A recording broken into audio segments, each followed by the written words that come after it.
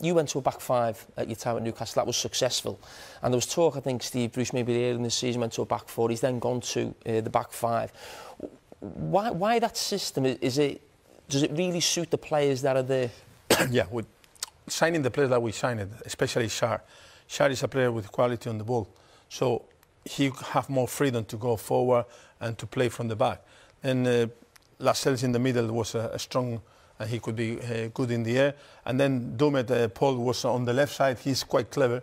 He was the one that could play as a left full back to cover Ritchie when he was going forward, or he could play from the back. Then for these uh, three players was really good. Uh, Yedlin that is very quick, and uh, Ritchie that he has a lot of energy, were giving us the, the width. And when we signed Almiron, and Almiron, Ayoze, and uh, Rondon, they linked really well because uh, Almiron can run behind defenders, Ayoze can run behind defenders and also go inside. So we have the width and we have the, the players that they could be behind and we have uh, the, the balance in defence. So in the end, these uh, players, Dubravka was a great signing because he was making the difference from day one when we beat Manchester United. And the two midfielders, one that could pass the ball and one that could uh, tackle and could uh, keep the position, we found the balance. So in the second part of the league, we, we were seventh in the league. So we did really well and the commitment of the players were there. I think that the fans, they appreciate that, and they appreciate the commitment of everyone that was there. You're saying you got the balance. We just mentioned about actually Arsenal, so you're talking actually, you almost had uh, seven players behind the ball and you left it to the front three. That got you to the, level it got you. that You obviously left in the summer. What was your idea then to improve that team and maybe take it even further forward if you could have got certain players uh, from the owner? Yeah, always, if I was guilty of anything, was to work really hard and to have some ambition. So we gave the fans hope that we could go forward, we could improve that. And I'm really pleased that they are doing well. I'm really pleased for the Steve Bruce because he's doing a, a great job. And that was I was expecting. So when you were watching the table, we, we finished uh, 10th and we finished 13th, then you are expecting, okay, the next step is try to do the right things to be in the top 10. But it was not the idea, and it's fine. So, but they still, I'm really pleased because the fans, the staff, the players, everybody was pushing and everybody was trying to do what I say when I decided to stay in second division. It's a massive club.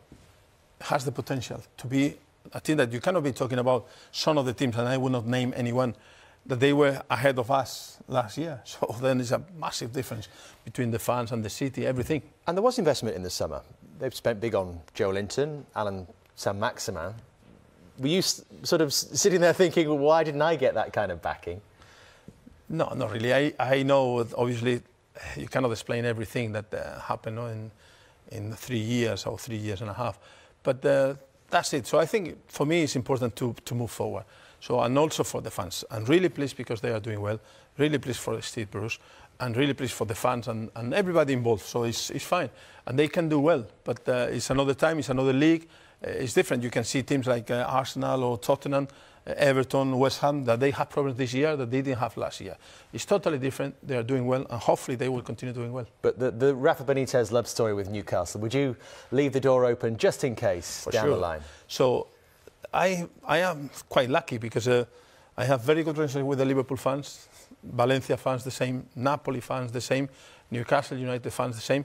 So you can say, oh no, you don't have uh, this, this relationship with these fans. Or that. Yeah, but uh, for a manager, when you go to four or five uh, clubs and then you do really well and you keep the, the, the bond and the relationship with the fans, it's because you have some commitment, not just with the, with the players, with the club, it's also with the city. So I can go to Valencia and it will be very difficult for me to walk in the streets because uh, they will be asking for autographs all the time. But it's the same in Napoli. Or then you say, why uh, Newcastle or Liverpool? Liverpool is I go by train, you come here by train, and always you find a Liverpool fan. And in China, you have Newcastle United fans, Liverpool fans, and Valencia fans, and they appreciate that. So it's, uh, for you as a manager, uh, you are really proud of that. And Dalian Yifang fans as well. Oh, believe me, the Dalian people they don't know, but the, the Dalian fans are similar to the Newcastle are United, they? yeah, and the and the Liverpool more now the Newcastle United fans because they used to win in the past, and now they want to go back to the same level. Obviously, they know that it's a project, that it's a, a young team with uh, young players. But uh, okay, we are doing our, our bits, and then hopefully we'll be better.